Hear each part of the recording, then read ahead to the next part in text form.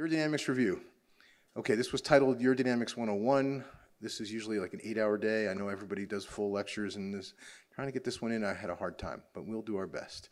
So this go, just go back to building on the concepts that Dr. Wein introduced earlier about this storage and emptying problem. So first, my definition, or what I expect for normal storage. Normal sensations, typically between 100 to 200 cc's. Normal capacity, typically between 400 to 600 cc's normal storage pressures or low storage pressures. So pressures usually in the low, you know, below 10 or low teens. Um, low intravesical pressures allow for produced urine to keep coming down the ureters, uh, prevents reflux, so you protect the upper tracts. And you should have appropriate sensations and no accidents. You should be continent. Your outlet should be dry. Emptying should be a coordinated and a volitional event under your control, and it should be a contraction that lasts long enough and strong enough to allow for adequate emptying. So urodynamically, that translates to bladder relaxation, outlet, or it says urethral, basically outlet contraction or outlet higher pressures, low pressures in the bladder, higher pressures in the outlet. Then during voiding, it's the opposite. Bladder relaxation, outlet, um, sorry, bladder contraction, outlet relaxation. So when there's a lower urinary tract dysfunction, it's going to be due to one of the following, or a combination, of failure to store. And if it's a failure to store, it's either a bladder problem or an outlet problem or both. If it's a failure to empty, it's either a bladder problem or an outlet problem or both. And it can be a failure to store and a failure to empty. So that's where this really comes into play. Um, so you can use this approach to steer through the complicated cases. You don't need it for everything, but it kind of makes sense. You have, Brian, I think mentioned this earlier, female stress incontinence.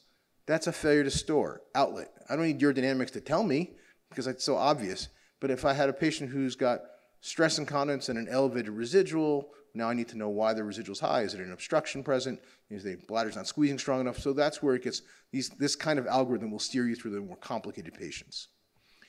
To assess failure to store, it's going to be by the CMG, which will get most of it, and then the outlet will be assessed by either the leak point pressures or urethral pressure profiles. Um, failure to empty, it's going to be assessed by the pressure flow study. AUA did come out with urodynamic guidelines back in 2012. Um, it, it was a good effort. Um, the problem is, is that all of the entities that you see on the column on the left, stress and incontinence, they came out with their own guidelines. Overactive bladder came out with their own guidelines. Neurogenic bladder just came out with their own guidelines. So the, each guideline puts urodynamics into place based on where the guidelines are, their guidelines. So these, these, the urodynamic guidelines kind of helped at the time because we didn't have anything else. Now, probably the, the disease entities guidelines are probably more accurate. So this is a busy slide, and I tried to condense everything. Um, again, for stress incontinence, for example, you don't need urodynamics for straightforward stress incontinence. Um, guideline, the NUS, the urodynamic guidelines were written in such a way we very were very worried about like saying you don't need urodynamics because then insurance companies would take those guidelines and they were like, well, you don't need stress incontinence, you don't have to do urodynamics on the stress incontinent patient. Well, you do if she's had her third or fourth surgery. Well, the guidelines say you don't need to. So we were very sensitive to that concern. So it'll say things like you may perform urodynamics. We didn't want to like outright say you can't or you should. Um, but for the stress incontinence straightforward index patient, you don't need to do it. Surgical planning, you probably don't need to do it either unless you really believe urodynamics is going to guide your treatment decision. Um, stress incontinence without hypermobility, again, if you don't have hypermobility on physical exam, probably it's ISD or some component of it. We, have, we know what options are better for that. I don't need urodynamics for that either. Failed incontinence surgery, then I might be doing it. I want to know if I'm missing something. You don't, uh, the, the assessment for the occult stress incontinent patient who has got prolapse, who doesn't complain, you don't need urodynamics for that. You can do that on a physical exam. Similar for overactive bladder, urgent incontinence, you don't need to do it for straight line therapy. If they have failed therapy, now you have to be able to figure out are they failing therapy because they're just a refractory OAB patient, in which case then just move on to third line therapy. Or they're they a complicated overactive bladder patient? They have MS they have diabetes, they have a previous outlet procedure. Now, they're, now you don't know, and you really would use the urodynamics to help with that. Um, lower urinary tract symptoms, you don't need urodynamics to assess for bladder outlet obstruction in a male for most men.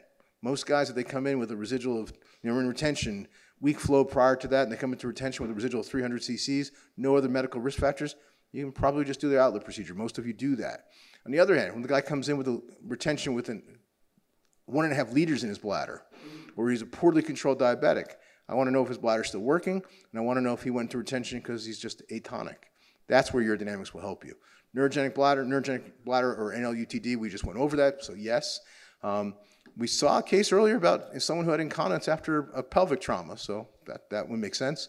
Recurrent UTIs, not for me, um, but on the other hand, if you have a pediatric patient, I don't know, my pediatric urologist tend to do them if they have elevated residuals and potential risk for reflux. I bring up the need for a diary. We all know you're supposed to get them. The diary really has a couple things to help you. Number one, if you think provider handwriting is bad, patient handwriting is worse. This looks really neat, right? So I said to the, you know, I knew what happened. You know, they, they, they fill it out in the waiting room while they're there because they know I'm going to be asking for it. And this one, I actually got on her case. I was like, I cannot believe you don't have the respect for me that you can actually fill out the diary when it and she looks at me, she starts crying. She goes, Dr. Kraus, my, I had it on little pieces of paper and I had my handwriting was so bad I wrote it over so you could understand it.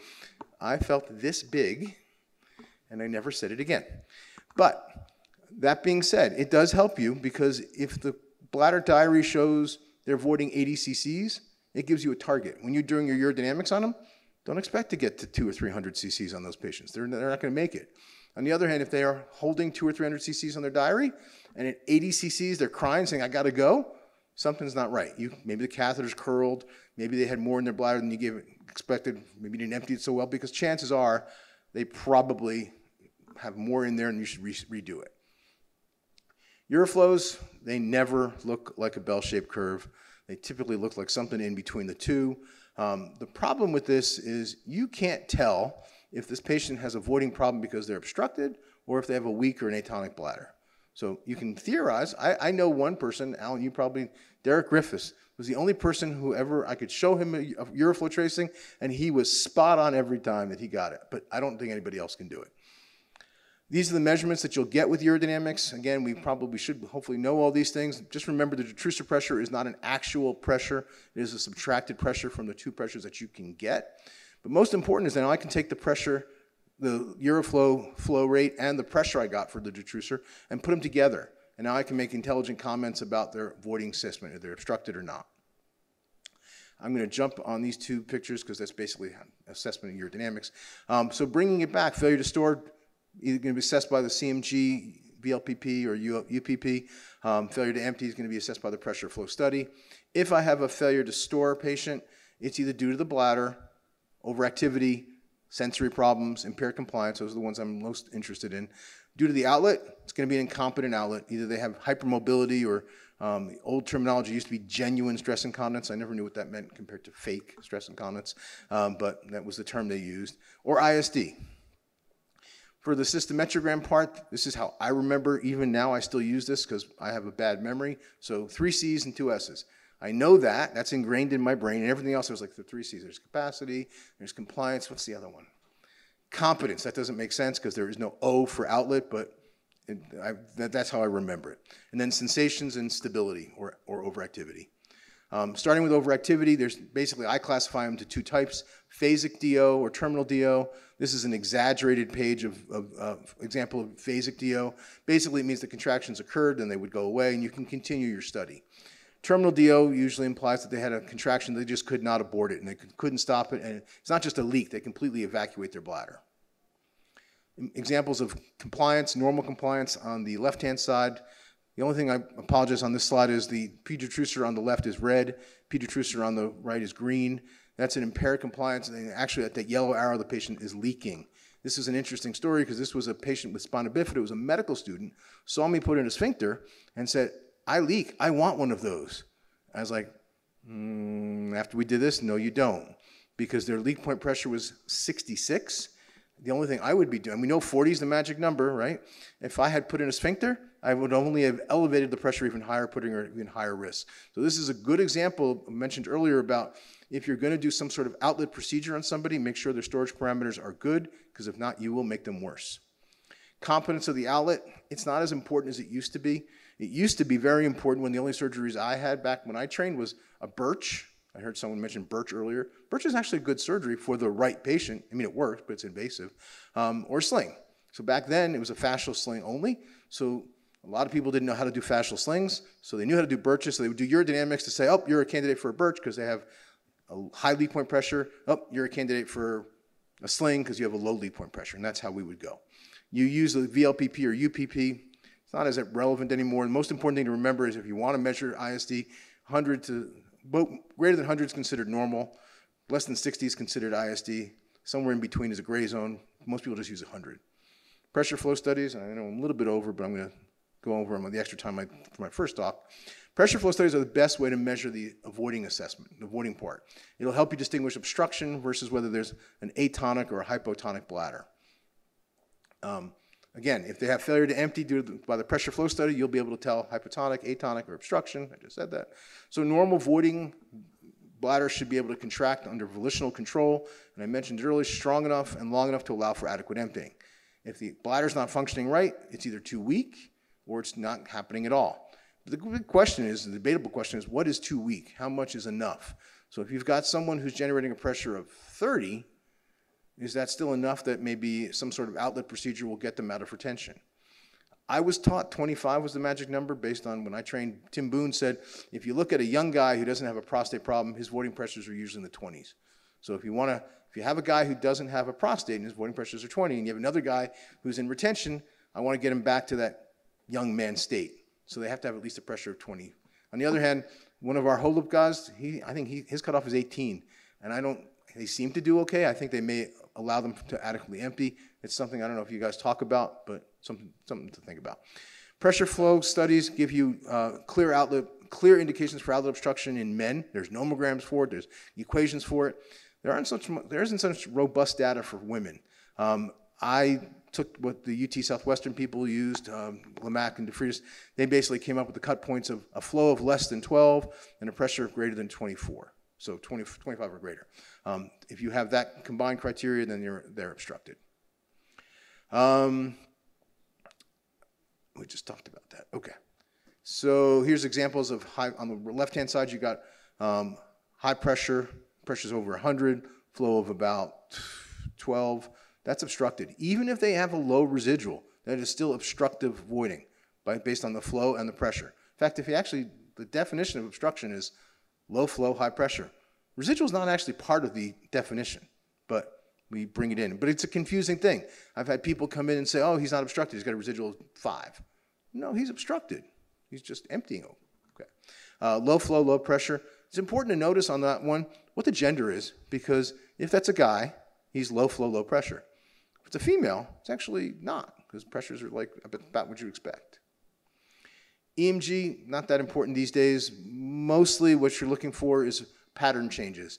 Um, assessed during voiding and assessed during storage and voiding. So when they cough or strain, you should see an increase in the EMG. When they, when they void, you should see a relaxation.